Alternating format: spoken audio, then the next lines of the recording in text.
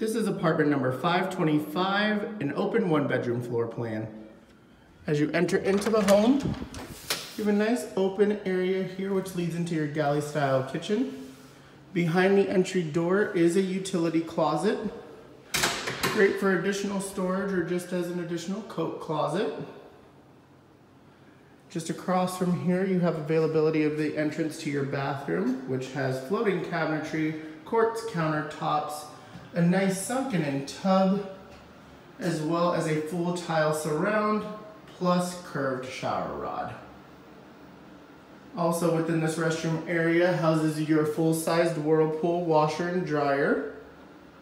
They are energy efficient so they don't rack up any more of your utility bills with additional storage above.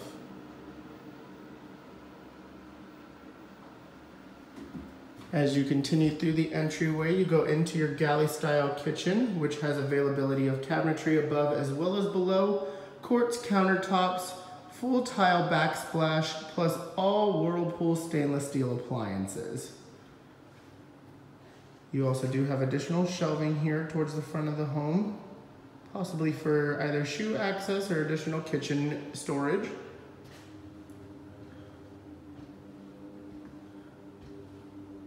As you proceed through, it goes into your living area, which also houses an AC and heating unit there.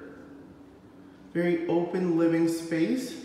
Can fit quite a bit of furniture, including entertainment furniture, a small office area, a small dining area.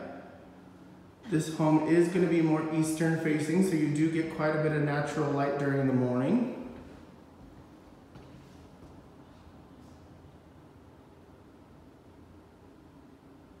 Just off of the living area will be your bedroom space, which is partitioned off by that sliding glass door that's frosted right there. Bedroom space will fit a queen size bed plus additional furniture. Standard size closet within the bedroom space as well, complete with California closet build outs.